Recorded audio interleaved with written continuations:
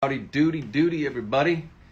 It's Kristoffer Polaha. You're joining me live for the Polaha Chautauqua on Oscar Sunday. It's very exciting. It is April 25th, 2021. Hey, Colleen. Hello, Shelly. Hello, Gail. Hi, Lisa. Hi, Olivia. Hi, Rhonda. Hi. Hey, hey, hey, Seb. Hello, Gail. Good evening to one and to all.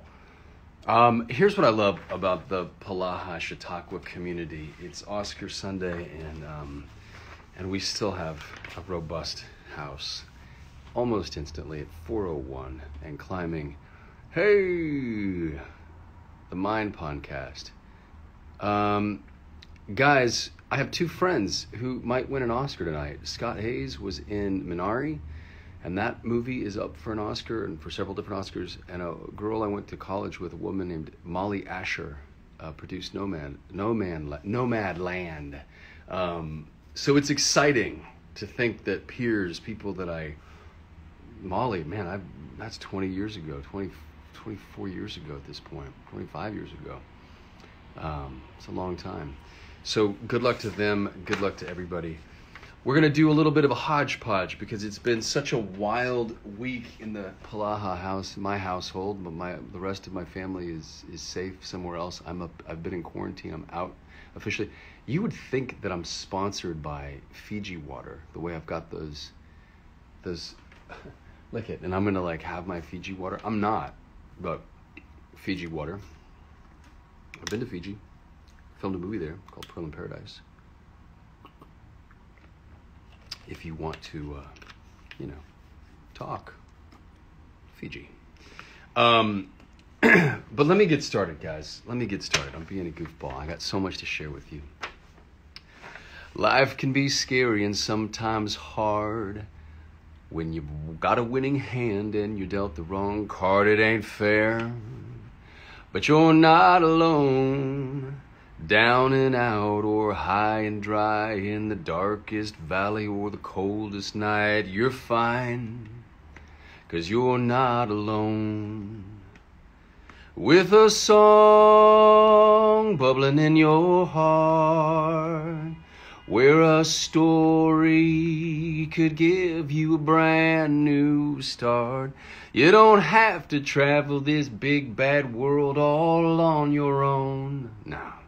Cause it's better when we do it together. All mixed up and upside down, feels like there's no one else around that ain't right. Well, you're not alone. When it all goes south and life gets tough and you've been knocked down and the weeds are rough, you just fight. Cause you're not alone with a song bubbling in your soul, where a story can make you feel whole. You don't have to travel this big bad world all on your own. No, it's better when we do it together. Yeah, it's better when we do it together. Right here on the Polaha Chautauqua.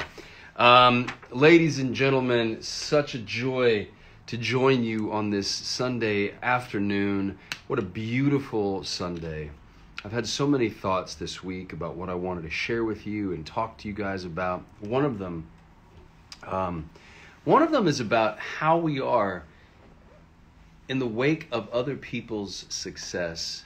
And I want you to ask yourself are you a household that when you're youngin' or your brother or a sibling or someone calls you with really good news, are you a household that just celebrates them and lifts them up and makes them feel proud? Or are you a household that kind of all of a sudden gets a little uneasy at someone else's success and a little maybe jealous or a little like, be careful, don't put your neck out too far? Um, the reason why I ask is because I realized this week, um, in lieu of a lot of really cool things that have been going on, um, that when I call home, every time I call home, my mom and dad are so proud of me. And my mom just wants to know every detail and asks the questions and my dad does this little like like I can just tell he's proud.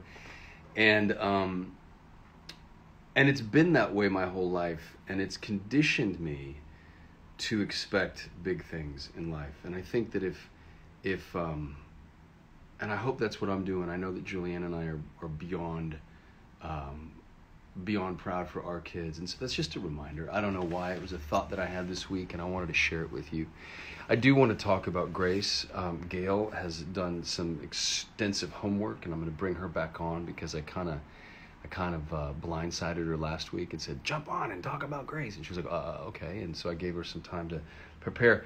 In the meantime, I haven't had time to do any work, so I'm leaning entirely on on Gail to help us out. I also, Lisa said that she has that clip. It has nothing to do with Grace. It has nothing to do with what I want to read to you. But I do want her to jump on. Lisa, if you're watching and you have your book, go ahead and grab it just in reference to if you happen to watch last week's and you want to finish the thought that we began. I do want to hear what, um, not Orson Welles, but George Orwell has to say about sort of, it's weird how prophetic it's become.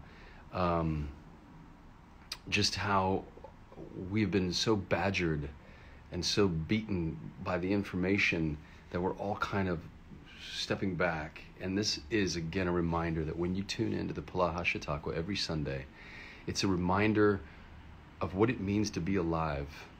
And it started out as a reminder to what it means to be alive in the face of COVID and the death that that uh, was instigating.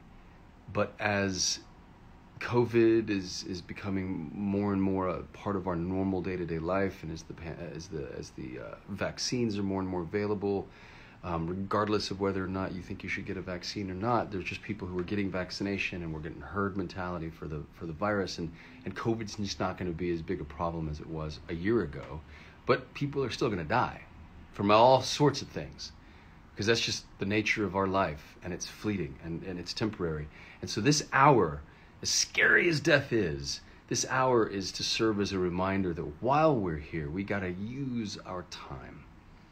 And I want to read something that my parents sent me today um, because it's beautiful.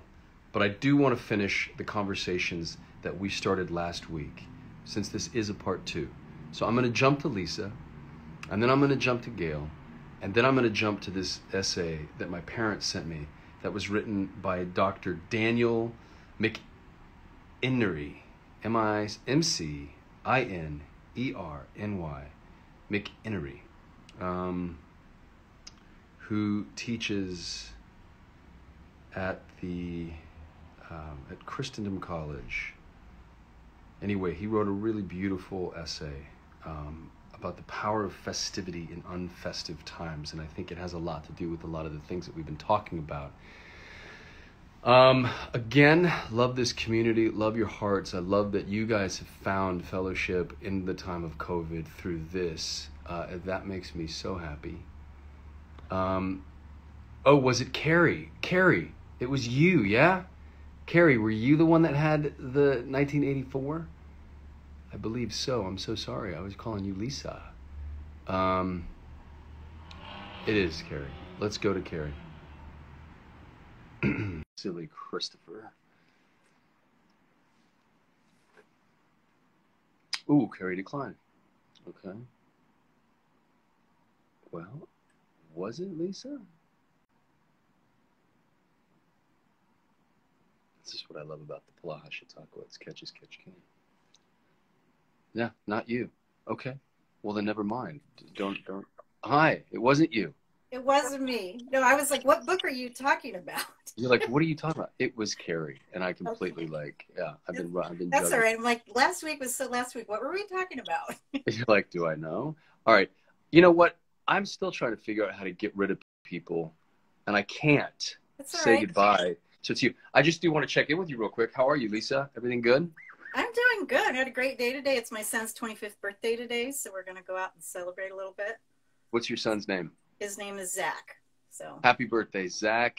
We have two sons. Happy Zach birthday, Zach. So that's awesome. Yeah. Um, well, have fun. Enjoy the rest of the show, and um, it's good to see you. I will, will, I'll have you back on at some other point in time. No problem. You got lots of people to talk to. It looks right, like it's bye. Carrie Bow. All right. It is. I'm gonna, yeah. I'm gonna hit. All right. Thanks, Lisa. Bye. See ya. I'm getting old. It's KP. Thanks, Kelly. Thanks a lot, Kelly. Um, all right. Let's do it again, shall we? All right, Carrie. I'm going to send a request to you now. Hi. Here I am. Hey. Hi, Carrie. How are yeah, you? Yeah, sorry about that. Didn't mean to decline you. Oops. You declined me. You were like, no. Sorry. Not today. Not this Sunday, Polaha. sorry about that. Okay. That's right. So, Do you know the passage that I'm talking about? I don't.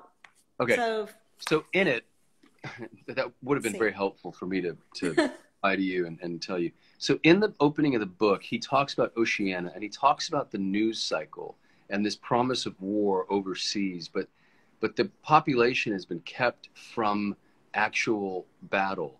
So all it is is news of war. Is, and I think it's right up front. I want to say it's right up at the beginning, like in the beginnings of the book, and it talks about what he does for a living, which is erase history. Yeah. Uh, I'm I'm in the first chapter. I'm looking. Hmm. Okay, so he starts off. Sorry, I don't know where it is. Um, That's okay. Do you want me to go to Gail and you want to look for it while I while I talk to Gail? Is this okay? Yeah, maybe. I don't know. He's talking about. Let's see. He kept his back turned. It was. Yeah, go to Gail, and I'll look. So, okay. so you want to know? It's it's when he's talking about his his job, right? Yeah, it's it's it's and, literally he's talking about. It's this amazing passage, and maybe you want to Google it. Um, because I can't remember where it is in the book. I'm so sorry. I should have I should have reached out to you and said, "Hey, this is what I'm looking for." Well, I should have asked. sent you the passage. okay. Um, okay. But um, and I had a whole week. I could have found it myself.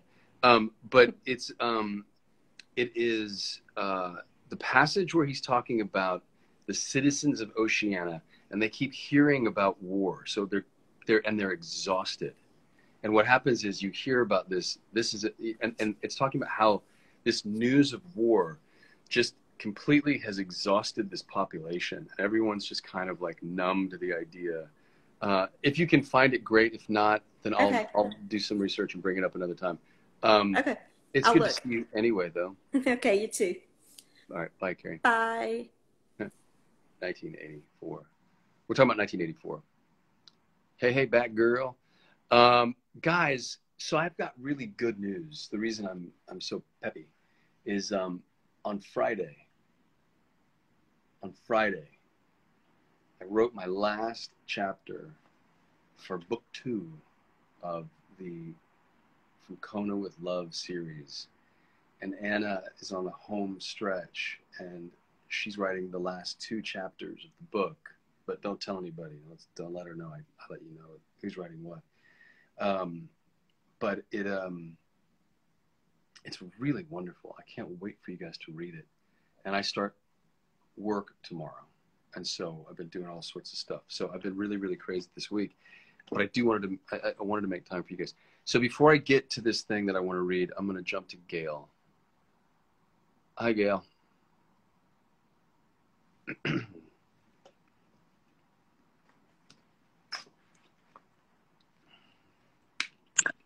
Hi. Hello.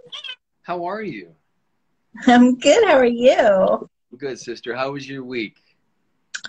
Um, good actually. I wasn't even here. I went to visit my aunt and my mother, who I hadn't seen, uh, you know, during COVID. So it was nice to finally be with them. They've been vaccinated. I've been vaccinated. So That's it was awesome. good to get together with family. So it was the first time you'd seen him in a year. Uh, first time I'd seen my aunt in a year. I had seen my mother one time, but that was it. And um, yeah, first time I saw my aunt. In fact, it was weird. She and I got together. We sort of met in the middle. We lived like four or five hours apart, and we got and we met in the middle one day. And it was like the very next week that COVID hit. I mean, we had. I mean, we would never have guessed that there would be that much distance between our visits. So crazy, right? Yeah, really crazy. yeah, it's been such a weird It's so weird. I mean, I just spent 15 days in quarantine because of COVID. It's still like it's yeah. still very much a problem, and you know, everybody yeah. still. I went outside for the first time today, and it's just a different world. Everyone lives in. We live in a very different world. I, hopefully, there's some normalcy that'll resume, and um, so last week we were talking about the idea of grace, and you and I corresponded a few times throughout the course of the week, and you were like, we can go in any direction and this can we could do like a deep dive we could talk about mm-hmm. the concept of sin it can be a really like intensely um, mm-hmm. almost about like the tenets of the christian faith kind of conversation for mature christians or and then you said so how how where do you want me to go and i think mm-hmm. that the joy of the polaha chautauqua is that we have attracted people from all over the world who don't necessarily share in the Christian narrative, but who aren't opposed to hearing about it and who are kind of who kind of dig hearing about that perspective. And I mm-hmm. and I would love it if you. I know that you were going to do a few little passages or, or, whatnot, or I can read them if you point me out to them, or whatever you want me to do. Um, but take ten or fifteen minutes or whatever you want, um, mm-hmm. and I just wanted to give you a chance because I know you've done some homework, and I just wanted to give you a mm-hmm. chance to to complete the work that we started last week. So, Gail, okay. take it away. okay. Well, you know, last week when we talked about grace, the first thing that I pointed out was that there was a difference between mercy and grace. You know, they're they're cousins, but they, they go together, but they're not exactly the same. And and and it's important to distinguish between the two because I think when you, especially when you receive them, you receive them for different reasons and you receive them in a different way. And to understand the difference helps you to um, understand the value of them. So remember from last week, I said mercy. When you give someone mercy, you're basically not giving them what they really deserve. For example, in college, uh, I took econ and I was horrible at it. I mean, absolutely horrible. And I just kept, I was failing on my tests, which was totally traumatic for me because I'd always been a really good student. And I went to my professor and I said, Look, I don't know what I'm doing. I, am studying, but I'm failing the test. And he said, You know, I think you need to do X, Y, and Z to prepare for the test better. And he said, I just want to see improvement as the year goes, as the semester goes on. At the end of the semester, so with each test, I got better, I got better, I got better. But the number grade that I had by the end of that class I deserved an F. Even though I had improved, right. I deserved an F. But he mm-hmm. didn't fail me. He didn't fail me. He showed mercy. Okay? Right. Yep. Now, so so that was one thing I wanted to point out last week was there is a difference between mercy and grace. And so grace is in essence giving something to someone that they don't deserve. Okay? He gave me a C. I didn't deserve a C, but he gave me a C because he saw how hard I had worked and he saw that I had progressed. And he knew that I had the ability to do it. I had just struggled on the test. Right. So I wanted to make clear that distinction because sometimes they get lumped together and then they kind of lose their meaning, their distinct meaning. Yeah. Does that make Absolutely. sense? Absolutely. Absolutely. Okay. And so everybody out there listening, give me a little give a little heart if that makes sense to everybody who's who's out there listening. Yeah. Tell me because i i can't see the comments very well so you guys will have to just yeah. bear with me. Um anyway so talking about grace and again for anyone who's new to the chautauqua i am a christian i am a follower of jesus and so i do come at it from that christian narrative and the bible is where i go to find out um, what god thinks about things and it and I use it as a tool to guide me. And so one of my very favorite verses is in the book of Ephesians in chapter 2 verse 8. And it says, "For by grace you have been saved through faith, and this is not your own doing; it is the gift of God." So so I've been saved and it's God's grace. It's his gift to me that I've been saved because I believe in his son Jesus. And when I was thinking about grace this week, I, thought about something I had read in um, Dietrich Bonhoeffer's The Cost of Discipleship. Dietrich Bonhoeffer, for those who don't know, was a famous German theologian. He ended up being killed by the Nazis. So um, my, my father-in-law's favorite theologians. He talks about Bonhoeffer all the time. Oh yeah, he's awesome. And that book, The Cost of Discipleship, is just a classic. But in it, um, Bonhoeffer talks about that grace, it's costly. It's costly. Um, it's freely given, but it's not free. Grace is freely given, but it's not free. And so let me just break that down for just a quick second. So for the giver, when you when God gives us grace, it cost him something. It cost him his son Jesus. That's what it cost him. When we as humans extend grace to someone else, it costs us something. It could cost us money. It could cost us time. It could cost us our own dreams.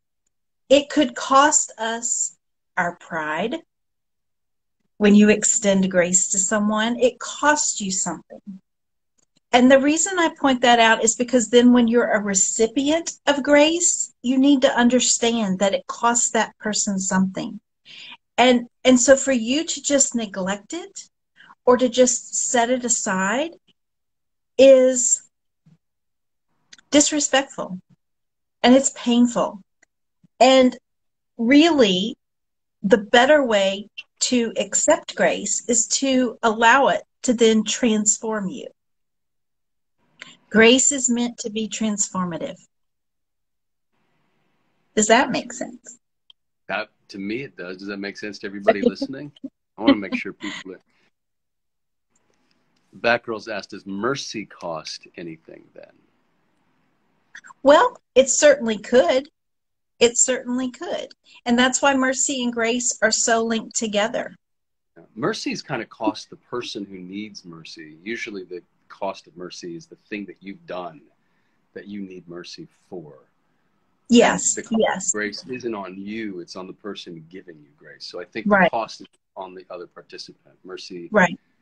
You know, the cost but, is already but, been paid by her.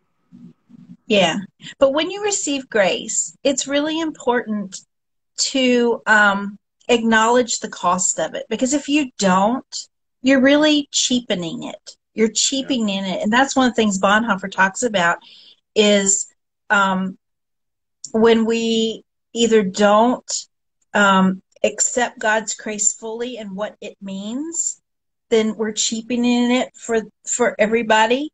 Or if we're receiving grace from another human being to not allow it to transform us uh, then cheapens that gift. And it can be something simple. Like I'm even like throw out uh, if you just want to walk away from the Christian era, even just something practical. You know, when you give someone a gift, you give someone a, a birthday present or a Christmas yeah. gift. Yeah. If they don't use it or they don't like it, there's right. a little sting, right? It's a little, yeah. It's like, well, yeah. What, why you didn't like the gift I gave you? Yeah, it's right. money. There's a ding to get it. Yeah. Right. Exactly. And, and so. And, uh, well, I would just want to interject for one second. The idea you keep saying transformation, and I want people to understand that in the Christian narrative, the mm-hmm. idea of transformation comes that when we accept the gift of Jesus Christ and we accept mm-hmm. that He died for us, and we say, Lord, I want you to be my Savior, and I believe that you died on that cross for my sins. Right. We then get to put our sins at the foot of the cross, which Jesus mm-hmm. freely takes up and the idea right. of transformation then becomes sanctification. And the whole concept yes. of being Christian is being a little Christ. And our job then, while we're on earth, the minute we accept the narrative and believe it to be true, mm-hmm. then becomes a transformation towards a Christ like life where we start to reflect who Jesus was through our words and through our actions. And that's the transformation that you're speaking of. And exactly. the first step of that is grace. The first step of that is accepting the gift. That's right. God makes the first step in extending that grace and then you receive it. And and God will meet you wherever you are. You know, I said last week, I don't care what you have done, how bad you think you are. God will forgive you if you come to him and you ask for his forgiveness. And so you know to to be able to to bring that to god and lay it at his feet he will accept you wherever you are. But here's yeah. the catch. He doesn't expect you to stay there. Right. Well is He's it repentance? it's repentance is twofold. It's saying i'm sorry i'm sorry but it also means to repent literally means to turn around. It does. It means to turn. to the latin greek it means to turn. So you're turning away from the behavior that was causing you to stumble in the first place. And when I think, and I think again, I want to break it down for both people, like both both sides of the of the camp. For the Christians mm-hmm. who sin is a common like vocabulary and we understand the concept of it, or sometimes mm-hmm. even as Christians we misunderstand it. And for everybody else who hears the word sin and thinks it's the big bad mm-hmm. boogeyman, mm-hmm. sin is is missing the mark. Is missing. We are designed. See, I believe that we are designed by a loving God to be a very best version of ourselves. And that is to be a vessel of love, That is mm-hmm. to be a vessel of encouragement. Like mm-hmm. all of us, every single human being on the planet, Jesus showed us how to be that way. He was the best example in the history of mankind on how to be a perfect human being. And our job right. is to emulate that. And when right. we fall short of that, that's what a sin is. So anything and what happens with sin is it's a foothold right so mm-hmm. like one little tiny sin starts to gather guilt and starts to gather shame and starts to gather and it starts to snowball and before yeah. you know it you're breaking relationships with people and you're you're yeah. and especially that relationship between you and god i think that's where and ultimately sin is death and yeah. and it and it can be the death through the form of addiction or death through the form of you know where you just have you've gotten yourself so far away from everyone that you're just in danger. You're in a dangerous place in your life. And right. you're hanging out with dangerous people who are also separated because of sin yeah. from healthy relationships and from ultimately that loving relationship between our maker and us. Right. Versus life. And when Jesus says, I am the life, like right. there's something so powerful because all of a sudden and again i've talked to i've used this metaphor a lot jesus is like this light that shines into dark places and sin mm-hmm. is like a mold and when you open up mm-hmm. that cellar door and let that light in it dries up all the mold and all of a sudden you're able to sweep through and go okay now i can so there's a difference between there's different stages of sanctification first stage is getting out of sin and dealing with all your bondage and getting rid of all of the things that are holding you back and keeping you mm-hmm. separated mm-hmm and then there's the sanctification towards holiness and towards and so that's that's the journey as a christian. And you were saying and the reason why i'm saying this is because you said god will meet you where you are. And so it isn't yes. about us doing the work of cleaning up. It isn't about like well i'm not good enough yet. I got to get my house clean before jesus comes into it mm-hmm. or my heart ready before he can before i can give it to him. He'll take you as you are just right now. That's right. Yeah. That's right. He he looks for a broken spirit and a contrite heart. That's what he's looking for. And if you can bring him a, your broken, even if that's all you have to offer him, that's enough. He wants that. And he will come in and he will transform you. But, you know, getting back to the whole grace thing. So he extends his grace. He, he's given up his son for, for everyone, to anyone who believes. And yet some people will say, well, hey, if I'm saved now and God's grace is going to cover me, I can just go back and to what I was doing before because, hey, he'll forgive me and he'll cover me with his grace. It did doesn't you, exactly you, work that way. Yeah. Did you did you read about that cult back in the day, the Greeks, when Paul came and talked and talked about Christianity, and there was a group of a sect of Greeks who were like, "This grace thing is awesome. So the more we sin, the more we're right. called, like the more we're going to have grace rain down on us." So it was literally about these these group of people that were like living so wildly because they wanted yeah. to go and be like, "I'm so sorry, God, give me your grace." Right. And it ain't that. It's not that. it's not that. It's not that. And that's what I mean by cheapening the grace. If you don't allow it to transform you, you know, you, you ask God to forgive you of whatever it is that separated you you from Him, and you repent, meaning you say, "I'm going to turn away from that now." Then, yeah, we're all human. We're all going to slip up. And the grace is for those moments when we do slip up. But when you purposefully continue walking in that sin, thinking, well, I'll just, you know, I'll just get the grace later. It'll cover it. It's fine. Then you really didn't change your heart. You know, it's funny. This verse has popped out at me twice this week. It said, if you do the thing you know you're not supposed to do, then it's a sin. Like yeah. if you know it's not right and you still choose to do it, even though you're like, eh, it's it's not right. You you've said. Yeah. You know what I mean? Yeah, and you know, I think that goes to the to the topic of we as humans, we've tended to um, give sin different layers, right?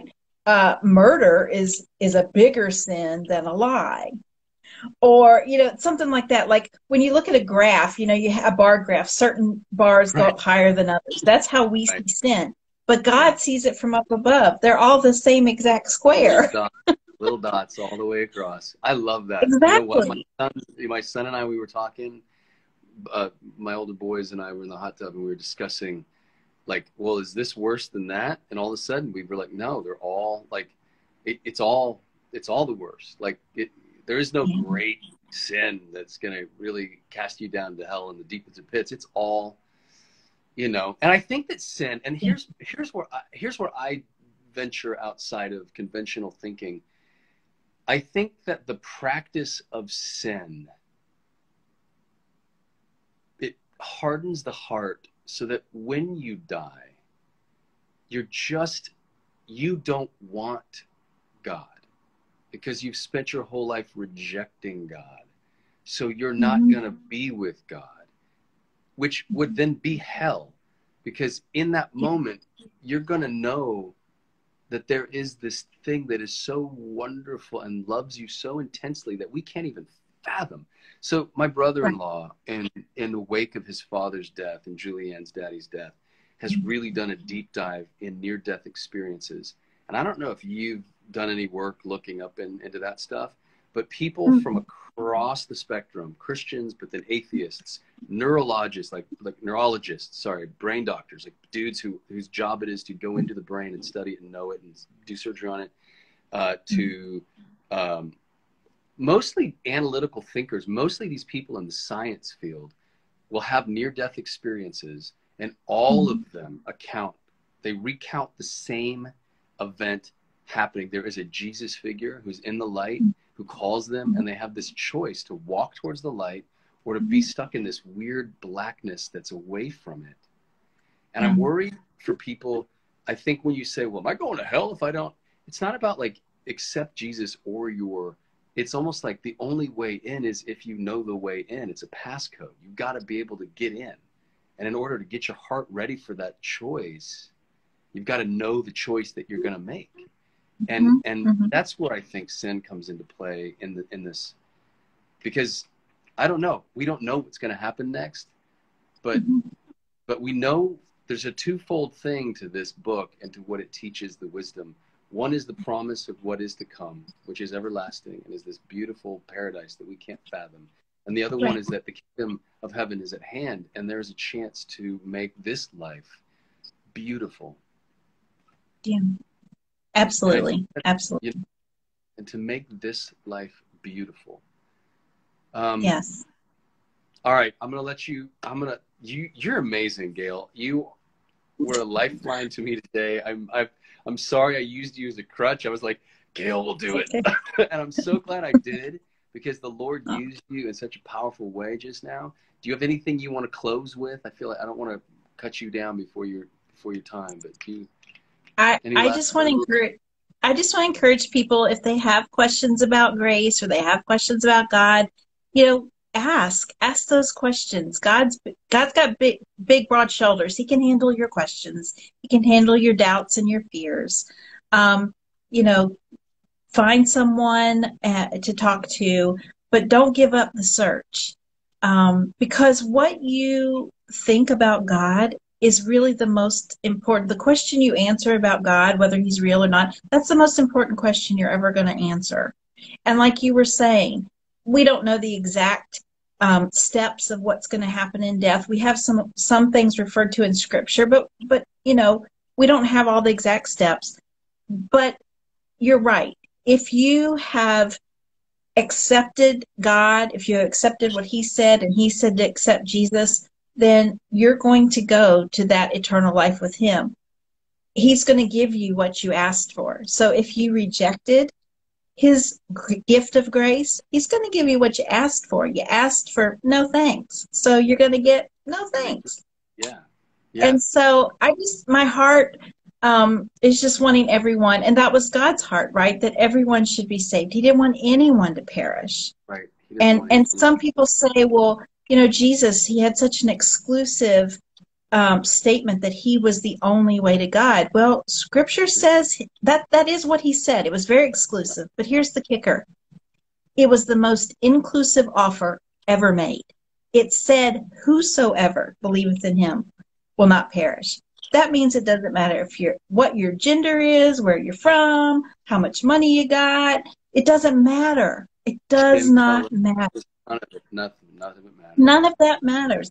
Anyone, anyone can find relate again, restored relationship again with God. Anyone. They just have to want to. So I hope this I got encourages. My warning. I got my warning that my my battery's about to die again. Can you imagine? Have you not learned your lesson about getting your phone charged? I need grace. Before the Chautauqua, huh? Have you not learned your lesson of getting your battery charged? I've got my battery plugged in. Problem solved. Um, that was beautiful. that was a hundred percent beautiful. And I also it made me think that when when everyone says, "Well, that's such an exclusive, you know, that Jesus is so exclusive, I also look at the mm-hmm. people that he inter- interacted with during his mm-hmm. time on this planet. And it wasn't the mm-hmm. elite and it wasn't the beautiful, powerful. It was the ones who were on the mm-hmm. outskirts, the outcasts, mm-hmm. the woman at the well who was frankly an untouchable. Um, mm-hmm. Zachariah, the tax collector, or Zechariah, or whatever, Zechariah, the tax collector, who uh, it was these people that no one else wanted to deal with. That's and I think that anybody who's watching who feels unworthy of God's love like that needs to just read a few. And that's the thing about the Bible. It's so powerful that when you start reading it, that's yeah. the thing. I don't care what what what walk you're walking. It's mm-hmm. such an amazing source of wisdom and life and love that no matter who you are, if you start reading the word, it has this effect it just starts yeah. to penetrate your life from your mind to your heart into mm-hmm. your spirit, your soul, and you become mm-hmm. transformed. Absolutely, and, Scripture even says that. Scripture says that that it's just it's the sword, and it it can even divide uh, marrow and bone. It goes down as deep as you exist. So, and you know, if there's folks out there who are like, you know, I tried to read the Bible, I just I couldn't get through it or whatever. First of all, there's tons of translations, and you always use the message, yeah, which is a wonderful translation for folks, right? But there's a show out there right now called The Chosen. I don't know if yeah. you've watched it or not. Love that show. It's on YouTube go watch The Chosen. It'll give you an overview of what we're talking about when we talk about Jesus. Yes, they took a few liberties because it's a TV show, but at the heart of it, they really did a good job of staying close to Scripture. So even if that is your doorway in, let that be your doorway in. And it and it shows it from the disciples' point of view, which is kind of an amazing. These who, who people yeah. like you and me who are just broke yeah. down, like, and that's the thing. We're all broken we all have a whole list of stuff we could slap on the table and be like, well, I did this and this and I said this and I thought this and well, we could all right. and have volumes of, of stuff that would keep us away from healthy relationships. But at the same mm-hmm. time, that's where the renewing power of Jesus comes in. And he says that, and to me, it's one of the favorite, my favorite things that Jesus says, I will make all things new. Yes. And this beautiful this promise of renewal and regrowth. When people say, "Oh, I'm born again," so well, what does that mean? Like, what does that mm-hmm. mean? You sound like some kind of weirdo. It's like, no, I'm literally, I'm a new creation. Like I, I was one way, and then I mm-hmm. met Jesus, and I'm another way. Yes. And nary the twain shall meet. And I love that God says, "I separate you." From your sins as far as from the east is from the west. And it's just like, and I don't remember them. Right. And so the grace that he pours on us is so unfathomable.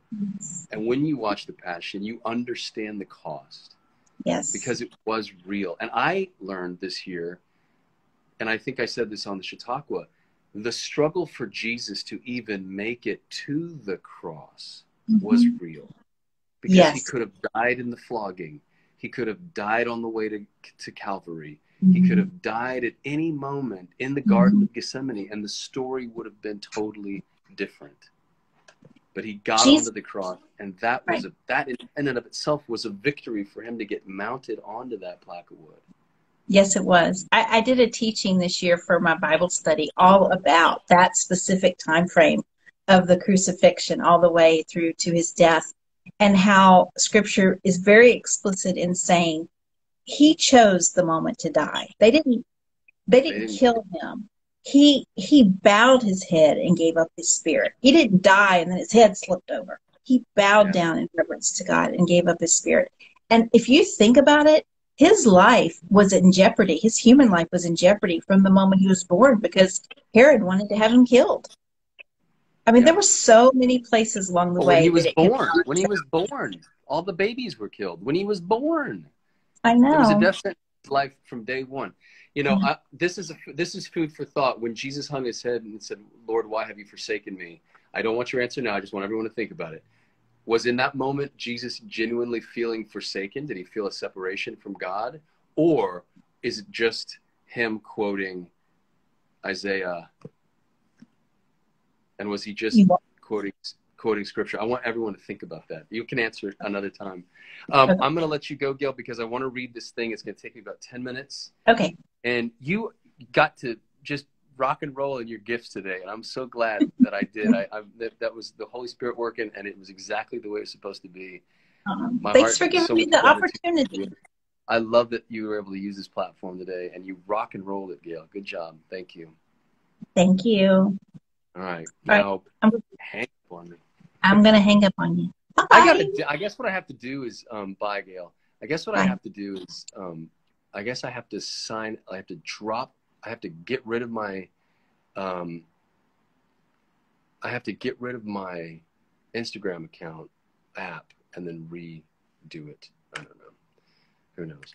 Guys, instead of the fashion on the red carpet, we're talking about we're talking about Jesus, which is kind of fun. I'm going to read you guys something very quickly. It's called Principles. Here, I want to make sure I'm not too turned away from you guys. Um, oh my gosh, Carrie. Oh, Carrie. Carrie, next week, I promise, and we'll talk in the between. I'll make sure we have the right thing. You're so awesome. And I love your, it's like a game we're going to play. It's a three week, it's a three parter. Um, this is called Principles from Christendom College The Power of Festivity in Unfestive Times by Daniel McInerny. You were very brave to sit down and read a piece by a philosopher on the theme of festivity. We philosophers do not exactly have a reputation for spreading joy and the festive spirit. We can, in fact, be rather dull at parties, especially when we start quoting our favorite German philosophers. I should say, when we get invited to parties. A friend of Dr. Johnson, the 18th century British poet and essayist, once told him that he had done his best to become a philosopher, but cheerfulness kept breaking through. Well, in this article, I will do my best to play against the type and remain cheerful as I share with you some thoughts about festivity and its surprising power to evangelize the culture. First, let's be clear on what we mean by festivity. We think we know what festivity is, don't we? It's the Christmas party, the birthday party, the Friday happy hour, the special family dinner when the kids are home, but we need to be careful. Genuine festivity may play a part in such activities, but then again, it may not. A special family dinner may, depending on the circumstances, be downright unfestive. And I don't just mean when Uncle Fred starts tippling. What I mean is the appearance of people having a good time, smiles. Hang on, page turn. Laughter, conversation, music, plenty of good food and drink does not guarantee that genuine festivity is occurring. Genuine festivity springs from a source deeper and more mysterious than any of these appearances. It is a source that can give us far more than a warm and pleasant feeling. It has the power, in fact, to restore all things in Christ. In order to uncover the secret of true festivity, I want to begin with A Winter's Tale. Actually, The Winter's Tale. Shakespeare's late comedy performed first in 1611. The inciting incident of the play occurs when Leonidas, Leon, hmm, Leon, Leonodi, ah, Leonidas, Leonidas, anyway, Leonites, king of Sicilia, accuses his pregnant queen, harmony of adultery with no questionable cause whatsoever, whatsoever. Leonidas, Leo, Leonites suspects that the child Hermione is carrying his offspring of Hermione's illicit affair with Leonidas' oldest and best friend, Polynixes, the king of Bohemia. Leonidas imprisons Hermione, and therefore, shortly after giving birth to a daughter, Perdita, the lost one, Hermione dies heartbroken. Leonetes the uh, then orders one of his retainers to take the infant uh, into exile. My gosh, the names! Come on, Shakespeare. At, uh, at, Christendom, one of the philosophy electives I teach is ethics and imagination. In this course, we reflect upon how the imagery of creative works of literature shows us, rather than tells us, what it means to live an ethically good life. In the spirit of this course, I want to offer King Leonidas' irrationality at the beginning of The Winter's Tale as an image of a political uh, community in fear, confusion, and turmoil. In other words, take Leo as an image of the way we live now, with so many of our schools and businesses clamped shut, with so many facing fearing rampant spread of COVID 19, with our houses of worship battling to keep their doors open, with scandal and division in the body of Christ itself. As in Leo's Sicilia, the goodness, truth, and beauty that Hermione represents today have been cruelly served, leaving us all in the position of Perdita, like little lost ones in exile. But this isn't the end of the story of King Leo. In fact, in the final act of the play, Leo is invited by the grave and good Paulina, his deceased queen's devoted lady in waiting, to come to her home in order to see a newly made statue. Sixteen years have passed since Leo irrationally since Leo's irrational tirade against his wife. And in those 16 years, he has done much to atone for his sin, as Paulina acknowledges in Act 5 Sir, you have done enough and have performed a saint like sorrow, no fault could you make, which you have not redeemed, indeed paid down more penitence than done trespass. Leo's patience opens the way for genuine festivity. His 16 years of mortification clear away the weeds and brambles that have covered the mysterious wellspring of true joy. Indeed, the waters from that spring have begun to refresh the world once again. The lost Perdita has recently been found in Polynixes, Bohemia, of all places, where she has fallen in love and promised to marry Polynixes' son, Florizel, now returned to Sicilia with, uh, she is reunited with her father, while Leo is reconciled with uh, Polynixes. However, the greatest part of the family's festive reconciliation is still to come. When the family arrives at Paulina's house to see the statue, they are taken by, uh, they are taken by her into a gallery, which is also referred to as her chapel there, the statue awaits them, covered by a sheet. When Paulina removes the sheet, the onlookers behold a wonderfully lifelike image of Harimony, Harimony, Harimony. So wonderful that the statue even shows the wrinkles brought on by the intervening 16 years. As Leo gazes awestruck at the statue of his wife, Paulina declares that she has a further surprise, and before she reveals it, she warns them it is required you do awake your faith. Paulina then bids the statue of Hermione to come down from the pedestal, and to the amazement of all, the statue obeys, uh, descends from the pedestal alive and well, and husband and wife, mother and daughter, two estranged friends and their children, two estranged kingdoms, are reunited with the deepest, most satisfying joy. Shakespeare is cagey as to whether Hermione has indeed miraculously come back to life, or whether Paulina and Hermione have contrived to keep Hermione safe and hidden all these years. The evidence of the play pretty clearly points to the latter alternative, but even if Hermione is not miraculously resurrected, the power of the image remains the same. What Shakespeare is showing us is Hermione's resurrection is an image of perfect festivity Notice it isn't the image of a party. No doubt a festive, a feast to celebrate the various reunions will surely follow later that day, and presumably the celebration of Perdita and Florenzo's wedding will soon follow as well. But these celebrations are not themselves the heart of festivity. Important as they are, they are only the physical form of the invisible spring that is the true festive spirit. Take another look at the image Shakespeare offers us. Remember that the statue is kept by Paulina in her chapel. At the moment of revelation, Paulina instructs Leo, and the rest to awaken their faith.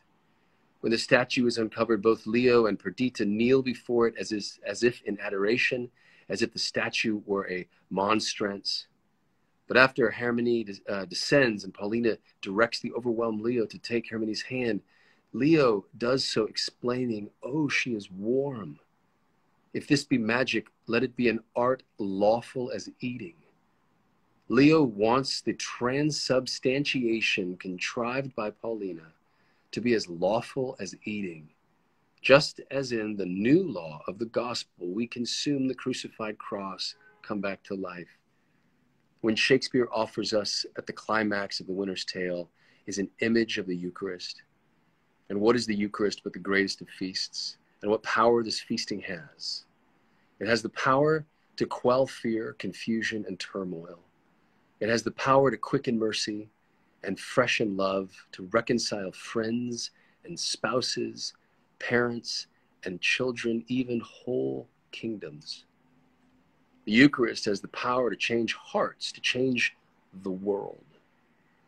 But you know that already. You already know well, you are already well aware of what Pope John Paul II taught us. The Eucharist is the source and the summit of all evangelism, evangelization. This is clearly a Catholic uh, periodical. However, I want to illuminate how the spirit of true festivity that we find in its highest form in the Eucharist feast has the power to evangelize culture in contexts outside the Mass and Eucharistic adoration. In order to see how this is so, we need to be even more precise about what we mean by festivity. When we know that whatever it is, we find it in highest form in the Eucharist. But what exactly is it that we find there? The 20th century German philosopher Josef Pieper, an author we love well here at Christendom, and one of those we love to quote at parties, gives us the secret in his beautiful little book, In Tune with the World. He says, and he quotes, Festivity is essentially a beholding, a contemplation, a loving and grateful affirmation of the goodness of all creation. It is saying yes to all that God has made. Isn't this just what we do when we celebrate, for example, a child's birthday? The cake, the candles, the presents, the games, these are only the physical manifestations of that internal and invisible amen to the life of the child. Why else would we celebrate someone's birthday except to say, in effect, I am so thankful you were born. I am so thankful you are part of God's creation, and I thank God that I have this opportunity to behold you, to contemplate your wonders, and give praise to God for what He has made. This loving, grateful beholding is the true and invisible festive spirit. This is what we are really thirsting for when we attend the Friday happy hour or toast a young couple at their wedding reception. We simply are trying to see all that is truly good in this world, not do anything with it, but simply look at it, gape at it, turn it over lovingly in our hearts, in our minds, and thanksgiving for it. A party isn't actually necessary for festivity, though it is, surely is nice. But oftentimes, festivity occurs in silence when, for example, a couple married for many years sits together, neither saying nor doing anything in particular, drinking up all that is good about one another, their children and their grandchildren, to their entire life together, with all its joys and sorrows. What are they doing but proclaiming a silent and grateful yes. We can see better now how the appearances of festivity, its physical form in the happy hour, concert, or celebratory dinner, can actually mask an unfestive spirit. In fact, partying can be a symptom of tremendous sadness. Pieper identifies such sadness with the age old vice of acedia, often translated as sloth. Sloth is not laziness as it is often thought, it is rather a refusal to say yes to the goodness of all creation. Sloth is the refusal to say yes to the goodness of all creation. Many seek festivity unfestively. While they may recognize certain things like pleasure, wealth, and honor as goods, they refuse to recognize the whole of creation and, above all, the author of all that creation as good. They view the world as a fundamentally hostile place in which the best one can do is take one's comforts as one can. Pieper points out, interestingly, that acedia is a violation of the third commandment to keep holy the Lord's day. For what is the Lord's day but the day on which we take, a, take it leisure in order to contemplate gratefully the goodness of all that is? Today is that day, kids especially in that Eucharistia, that thanksgiving that Christ renders to the Father on our behalf in the holy sacrifice of Mass. Okay, we're at the home stretch here. True festivity, Pieper argues, is culture at its highest fulfillment. This means that when it comes to evangelizing, evangelizing, evangelizing present day culture, our chief task is to attract the culture to the delights of the festive spirit. The culture we live in should most accurately be deemed an anti culture because it is so adamantly and sadly refuses to say yes to the goodness of all that is. So, how are we to attract our anti culture to festivity? I would like briefly to suggest three ways. First, we must cultivate festivity in ourselves, above all in our own devotion to the Eucharist, but also by cultivating a contemplative spirit for the working day. For this, we need to stand guard carefully over our attention, especially during this pandemic, and are being more beholden than ever to digital technology. It comes to light that attention, our attention, is one of our greatest treasures as human beings. And one of the things the anti culture most wants to take from us as we learn from the disturbing Netflix documentary, The Social Dilemma, the big tech companies, especially social media companies, are working hard to manipulate our attention. Our attention is what they are selling to their advertisers, and they control our attention precisely by offering us sham versions of festivity. We don't need to be a Luddite about technology, but most of us need to be much more intentional about guarding our attention not only from onslaughts by social media, but also from the incessant sensationalism of the news and the often impoverished offerings of popular entertainment. On the first Sunday of Advent, our Lord urges us in St. Mark's Gospel be watchful, be alert. May he not come suddenly and find you sleeping. With our attention secured, we have spiritual space opened for prayer, certainly, but also for cultivating a 24 7 sense of gratitude and a loving beholding of all the gifts God has given us. Such contemplation must necessarily produce joy, which, as Bishop Robert Barron likes to teach, is our most attractive quality when it comes to evangelization. This contemplative joy, however, seeks an outlet, some physical form. This is where the parties and celebrations come in. It is also where poetry comes in, and indeed, all the arts. A second key way we can attract the anti culture to festivity, therefore, is by the cultivation of beauty, especially in the arts.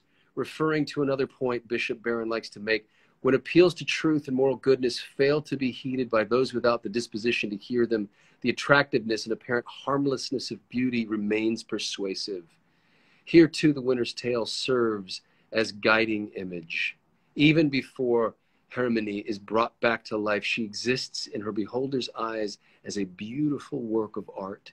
Indeed, Leo is so taken by the beauty of what he thinks is the statue of his wife that he wants to act as if the statue were alive.